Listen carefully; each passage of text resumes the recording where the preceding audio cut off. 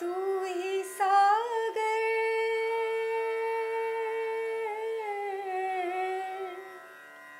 तू ही सागर है, तू ही किनारा। ढूंढता है तो किसका सहारा। ढूंढता है तो किसका આવો, આજે આપણે શિક્ષણની બે વાતો કરીએ. શિક્ષણ બહુ સહેલો વિષય છે ચર્ચા કરવા માટે, વ્યથા ઠાલવવા માટે વિષાદીઓ ગાવા માટે. મીઠું વેચનારો પણ શિક્ષકને કહી શકે કે વર્ગમાં કેમ ભણાવવું ને કેમ નહીં. શિક્ષણ એવું ક્ષેત્ર છે કે જેના વિશે વિશ્વના દેશો પણ ચર્ચા કરે અને ઝૂંપડપટ્ટીના ચોતરે પણ વાતો થાય. શિક્ષણનું સ્તર કેવું હોવું જોઈએ એની અસ્તરવાળી ચર્ચાઓ ચાલ્યા જ કરે છે. વિનોબાજીનો એક પત્ર છે, તેમાં એમણે ફરિયાદ કરી છે કે શિક્ષણનું સ્તર ખાડે ગયું છે. આપણને વિચાર આવે કે લે ત્યારે પણ શિક્ષણ ખાડે ગયેલું? ત્યારે ફરિયાદ જ હતી અને આજે પણ એ જ? જો કે વિનોબાજીના કાળની શી વાત કરવી? રામાયણ મહાભારત કાળમાં પણ આરટીઈ લાગુ પાડવો પડે તેવી જ હાલત હતી. ગુરુદ્રોણે એકલવ્યનો અંગૂઠો માંગી લીધો, તેની સજા હજુ આપણે ભોગવીએ છીએ. એ અંગૂઠાના બદલામાં હજુ અનામતનો લાભ આપવો પડે છે. ભૂલ દ્રોણની ને ભોગવે છે દેશ. ત્યારે છાત્રાલયના છોકરા આશ્રમ માટે લાકડા કાપવા જતા જ ને અને આજે ઘણી સ્કૂલના વિદ્યાર્થીઓ સાહેબનો માવો ફાક કોઈ લેવા નથી જતા. જ્યારે જેવી જરૂરિયાત. સમજાઈ ગયું ને કે ચર્ચા કે ચિંતન માટે શિક્ષણ બહુ સહેલો વિષય છે.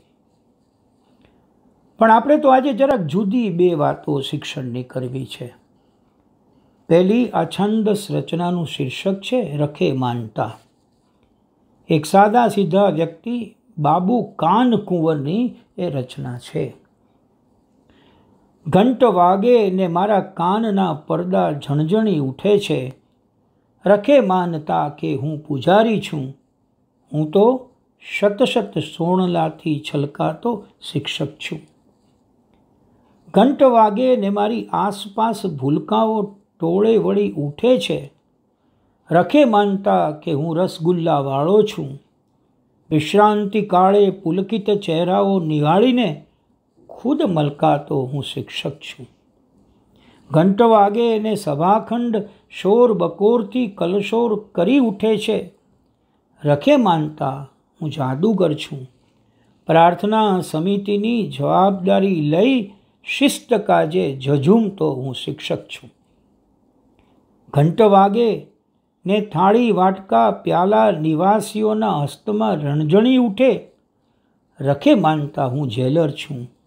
છાત્રાલયના છાત્રોને શિર પર છત્ર ધરતો હું ગૃહપતિ કમ શિક્ષક છું. માત્ર દિવસનો નહીં, માત્ર સવારની પાળીનો નહીં બાલજનોને વાણીથી નહીં, વર્તનથી શીખ દેનારો હું તો ક્ષણ ક્ષણ શિક્ષણ છું.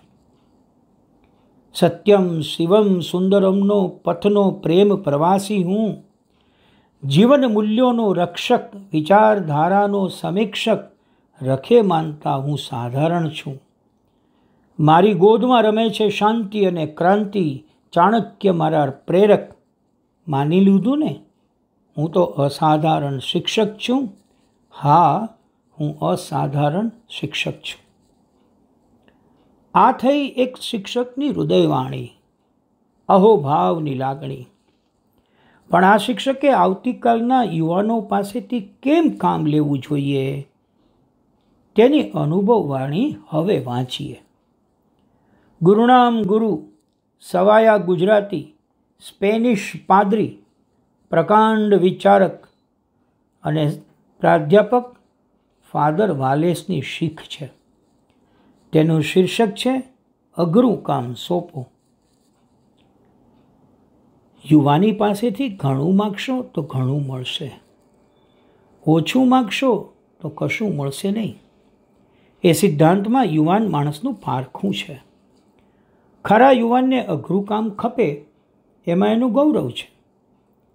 યુવાન માણસ સહેલું કામ ન કરે કે એવરેસ્ટ ઉપર ચડે, મહાસાગર ખેડે માટે એ યુવાન માણસની આગળ જ્યારે આપણે ફક્ત ગામના તળાવ અને પાદરના ટેકરા મૂકીએ, જ્યારે અભ્યાસક્રમો સહેલા બનાવીએ, શિસ્ત ઢેલી મૂકીએ, જ્યારે બધું ચલાવી લઈએ, સહેજ પણ કષ્ટ પડવા ન દઈએ, ત્યારે એ યુવાન માણસ હૃદયના ઊંડાણમાં નિરાશ થાય છે કે આ શું? મારા લાયક કામ છે? આ મારી શક્તિનો માપ છે. આજે આપણે યુવાનો પાસેથી ઓછું મેળવીએ છીએ. શું એનું કારણ એ ન હોય કે આપણે એની પાસેથી ઓછું માગીએ છીએ? કામ કરવાનું, ભારે કામ કરવાનું, સતત કામ કરવાનું જન્મસિદ્ધ અધિકાર છે યુવાનોનો. એ અધિકાર આપવામાં કંજુસાઈ ન કરશો.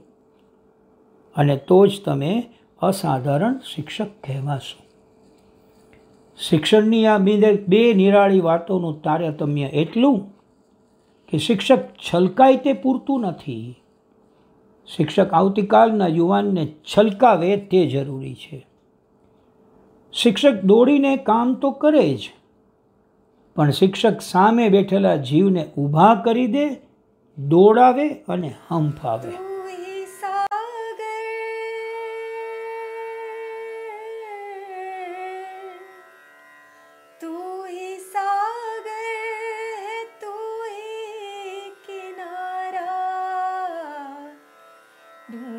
ढूंढता है तो किसका सहारा?